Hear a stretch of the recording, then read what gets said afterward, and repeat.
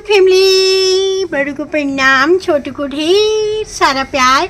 मेरे आर्मी वाले भाई बहन को, मेरे किसान भाई बहन को खास प्रणाम। अभी ब्लॉग की शुरुआत कर रही हूँ मैं सुबह से, और आई होप आप सब स्वस्थ होंगे, मस्त होंगे। तो साथियों, आज हम लोग ना किसी खास कारण से जा रहे हैं राजस्थान।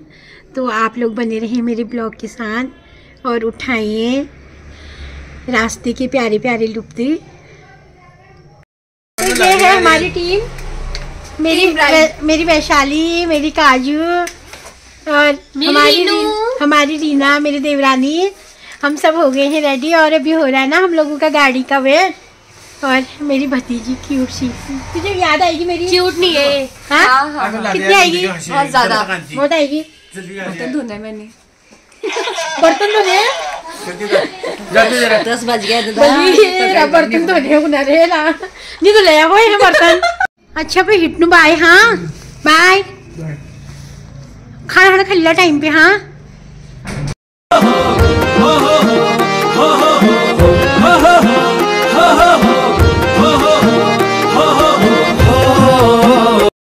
तो अभी हम सब बैठ गए हैं गाड़ी में और गाड़ी चल दी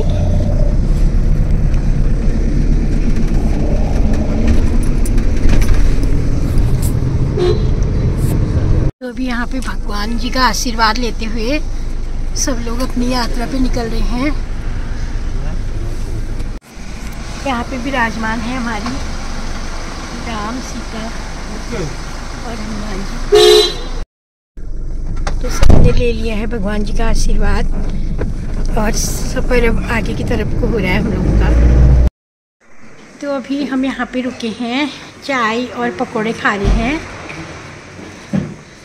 तो बच्चों को तो उल्टी वगैरह हुई है, वो सब पसते हैं। और देवरानी भी पसते हैं। बस एक मैं हूँ, ज़रा ठीक। तो अभी आ गए हैं हमारे पकोड़े। हम लोग खा रहे पकोड़े वगैरह भी। बच्चे तो कुछ भी नहीं खाते हैं, खरीदे। मैंने कहा, खाओ यार, थोड़ा सा खा के ज़रा ठीक रहता है। और देवरानी भी होगी मेरी पसंद सिर्फ़ एक मैं और पंडित जी हैं उस गाड़ी में, जिनको की वो मीटिंग नहीं हो रही है। बाकी सब लोग बिल्कुल एक के बाद एक बारी लगा के बस वो मीटिंग करने में हैं। और मैं इन लोगों की पीठ की मालिश करने में हूँ। तो ये हमारी सिंगौड़ी है, पहाड़ी मिठाई है। काफ़ी ज़्यादा टेस्टी होती है। अभी हम ट्रैवल कर रहे हैं तो हम अभी कहीं घर को तो नहीं जा रहे हैं तो हम, हमारा मन कर रहा था, हमने चालीस रुपए का एक पीस लिया। अब इसको मैं खाऊँगी। तो अकेले खाएगी सबको इसको डिस्ट्रीब्यूट करेगी। थोड़ा ये पहाड़ी आइसक्रीम टाइप है तो सब पे थोड़ा थोड़ा हम बांट के मिल बांट के नाम नाम भी बता दे इसका। बता दिया मैंने। क्या था? सिंगोड़ी। अच्छा।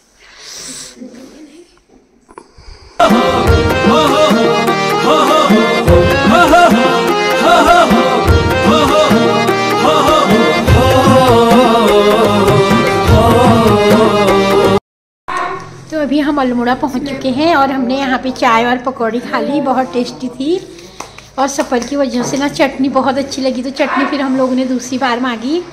और अब हम बैठते हैं गाड़ी में और आगे का सफ़र करते हैं तय और आप बने रहें मेरे ब्लॉग में और उठाइए पहाड़ों का प्यारा प्यारा लुक। हमारे सारे पैसेंजर बैठ गए गाड़ी लगा दी ना सब लोग बैठ गए ना इधर उधर देख लो। मेरे मामा।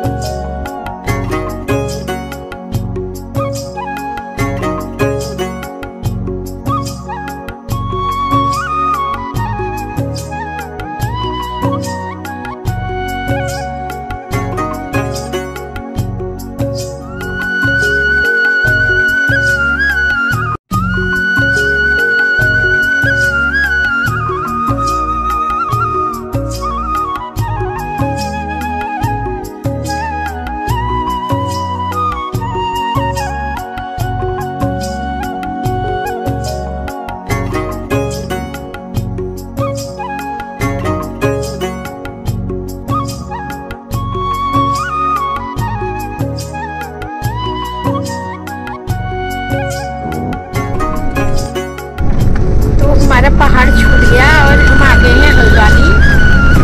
हल्द्वानी पहुँच चुके हैं। तो यहाँ का मौसम तो अच्छा है।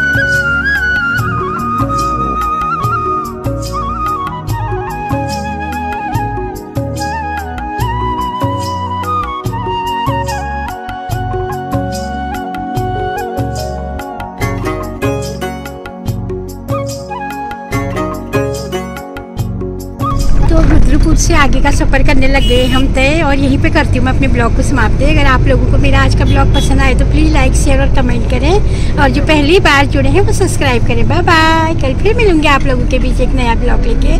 सभी स्वस्थ रहें, मस्त रहें। जय हिंद, जय उत्तराखंड, जय पहाड़।